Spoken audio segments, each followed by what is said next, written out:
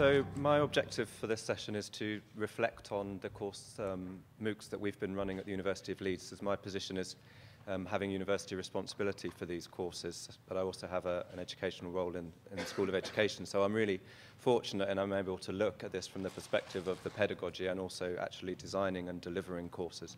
And what I want to do is talk through the, the process that we went through to develop our first MOOC, the educational principles that we use to underpin that, and then reflect on the experience and give you my kind of um, ideas for what we might be doing in the future and perhaps it might, how it might um, affect the sector. So the first MOOC um, that the University of Leeds um, put on was called When Worlds Collide. It ran um, last October. And for those of you that don't know the University of Leeds, it's a Russell Group university with a very strong focus on international research. And we took the very active strategic decision that our MOOCs would be based on the kind of research-led teaching that we do at the university and that we would focus um, our online courses in that same vein. So we immediately set ourselves the pedagogic challenge of trying to ensure that students had the same kind of educational experience that they would get at the university. So we were very clear up front that we knew um, from running this course it was going to be different um, to, an, to a, a blended course that we run at the university, but we were trying to find ways to use innovative pedagogy to do this. Um, and we ran our course within the FutureLearn platform, uh, which in October was in beta phase um, and has quite limited functionality, I think it's fair to say, um, with a very impressive roadmap for how innovative pedagogy can be used, but at the moment quite um, immature in its, in its availability of um, innovation. So this is a kind of a story of how do you how do you try to do an innovative, pedagogically appropriate course in a platform that's just started? I guess that's how I should have titled it. Um, so the course that we did was run by Professor John Lovett, who's a world expert on um, natural resource management, and it was intended to um, to portfolio, to profile the kind of work that he's been doing in universities around the world and with school-level children for many years. And we wanted to make sure that we captured the essence of his educational expertise.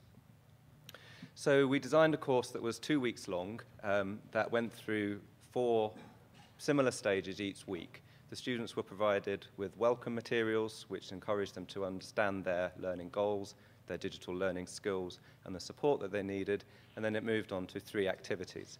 Firstly, they were introduced to some principles of the subject. They then put those principles into practice through some case studies. And finally, there was a research active debate involving some academics um, from around the world who put those principles into a real-life context. And this map that you're seeing here is something that the participants were talked through right at the beginning of the course in the course map so they could understand the learning journey that they're about to undertake and understand the way the course had been designed. And you can see coming off this linear journey in the dotted points, the ways that the students were able to interact and to um, dig deeper or delve further into additional resources as and when they required to do so. And there are opportunities, opportunities along the way for students to check their understanding, and then a final test at the end of the two weeks. So the first part of the course was where we tried to help students to understand their learning needs and to understand their digital skills to enable them to actually um, learn effectively online. And this is, I guess, the part of my talk that I would take slight issue with some of the things that Martin said this morning about students have the technology, they're perfectly able to use them.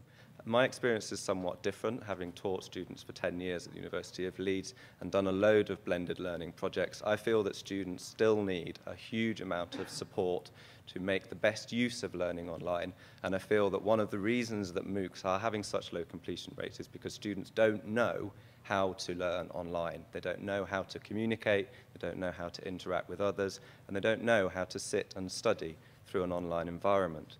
So we provided a whole range of what you would call study skills resources to help students to become more familiar with the platform, but also to understand their particular learning goals and how to um, conduct themselves online and how to learn online. So for example here, we talk through the process of mind mapping. So for these individuals who may have never studied online before, we talk through what it might be like for them to take notes from an online course and how they might want to organize their thoughts.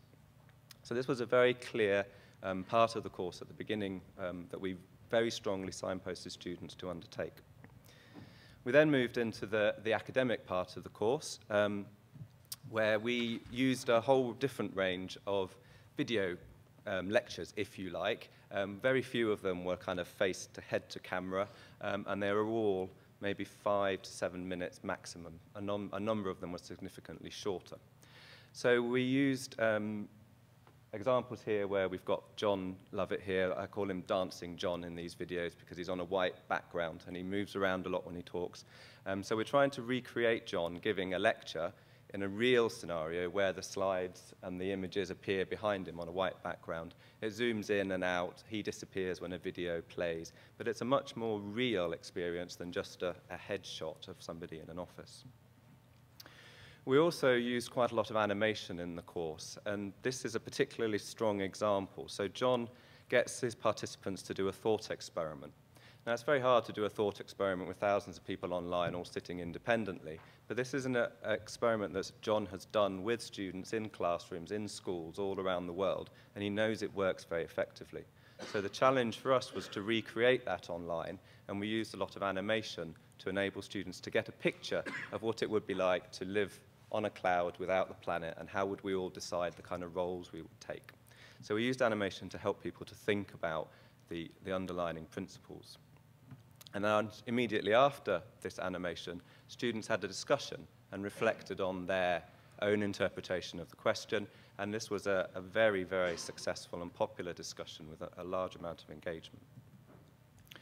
Other forms of um, delivery we use almost like a whiteboard, so we drew on the instructional stuff, a bit like the Khan Academy, um, building up the pictures as you go along, along with a narration, which were also very popular with students. And finally, in the debate section of the course, we had this live debate where it was a, a discussion, a bit like we're having today, between experts, and the students could then pitch in with questions online for the experts who then answered them um, asynchronously after the debate had taken place. So we used a whole range of different learning techniques that we know are effective with our students on campus and in a blending environment and trying to see how they would work in an online environment. And the course finished, as I say, in November, so we, we have um, some initial data analysis of how it worked out um, for the course that we ran. It was in a beta phase, so this course had just over 5,000 learners, which, you know, if people want headlines of 120,000, that's not the game that we're in. We're quite completely focused on the quality of the experience the students get, and we're not at all particularly, we're not bothered if there are 5,000 or 50,000 students on the course. We're much more bothered about the quality of the educational experience that they receive. And we feel that the students that um, engaged with this course had an exceptional learning experience. 90% of them rated the course as excellent, 97% of them said they would recommend the course to friends and colleagues. From an educational perspective, some of these data are really exciting. Uh, we've got individuals who are spending over 24 minutes on the platform each time they came, and they're engaging with a whole, uh, a large number of the um, materials that are available to them. We're particularly interested to see that they appreciated that study skills material that we provided at the beginning, and they found that the level of the course that we'd put out was appropriate to their needs, and most um, importantly, they found that the, engager, the educator was very engaging, and that's probably the predominant comment that we've had from this course, was that John tried to respond to every substantive point that was made by participants. That's not to mean he replied to every discussion post, but he summarized in one way or another every major point that was made by participants, which really gave participants a sense that they were actually part of an educational experience. So the last thing, um, just on this course, is about the engagement. So we've talked already about completion rates. Um, again, we're not particularly focused on completion rates. We're more focused on learners' engagement and their experience during the course. But I wanted to share with you some initial analysis of the kind of engagement that we are having, we've had with this course, and to show you what kind of um, effect the resources have on students' learning. So what you can see in front of you now is um, the data, the number of unique views of the individual assets that I've talked through already. So the first side of this slide is those study support materials, those videos about how to use the platform, how to study online. And you can see that there was a lot of engagement with that content.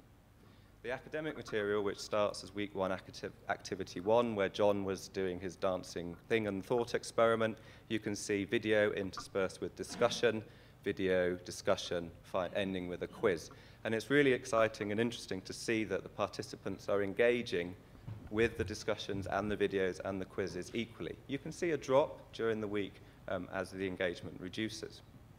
In the second week of the course, what we're seeing is a lower um, number of people, unique users, using the course, but again, a consistency in the use of video, quiz, and discussion. And then at the end of the week, a slight drop again to the number of people taking the end of course test. So in terms of engagement, if we take this number of participants as being initially engaged, they started um, quite strongly by looking through and using the resources and contributing discussion. At the beginning of week two, we had around 50% of the participants still engaged, and we had 48% of the participants taking the final course test.